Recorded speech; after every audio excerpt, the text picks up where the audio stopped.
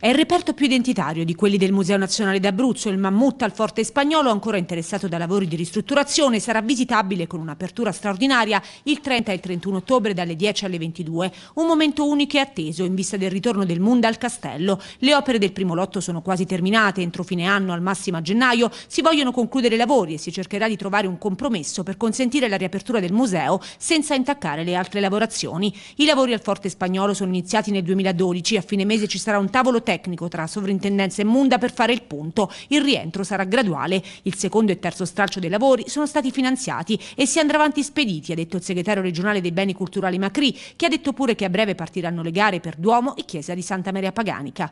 Ritengo che questa apertura costituisca, diciamo, sia molto più importante eh, perché deve accompagnare quella che è la ricostruzione cosiddetta materiale, fisica, sono termini impropri, ma eh, quello che occorre è che questi, questi eventi proseguano, infatti avremo altre aperture straordinarie a distanza ravvicinata, proprio perché eh, questo aspetto, come mi è stato evidenziato, da, eh, rappresentato da Monsignor Petrocchi, è, importante per una ricostruzione interiore eh, della, della, della società e della popolazione che è stata profondamente ferita.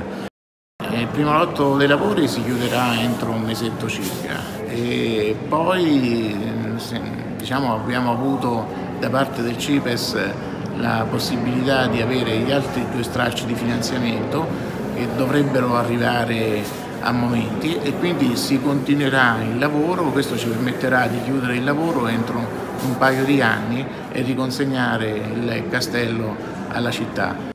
Lo scheletro del mammut al castello dal 1960 risale a 1.300.000 anni fa, rinvenuto in una cava di argilla scoppito nel 1954. Messo in salvo dal sisma, fu esposto per un breve periodo nel 2015. Il restauro è stato possibile anche grazie a una donazione della Guardia di Finanza di 600.000 euro. Anche il 4 dicembre ci sarà una visita straordinaria dedicata alle persone con disabilità, organizzata dall'Unione Cechi. Si lavorerà per predisporre altre aperture, però lo ha detto anche Maria Grazia Filetici, direttrice del museo. Le prenotazioni lezioni saranno aperte dal 25 al 29 ottobre. Le visite saranno suddivise in gruppi di 20 persone ogni 20 minuti.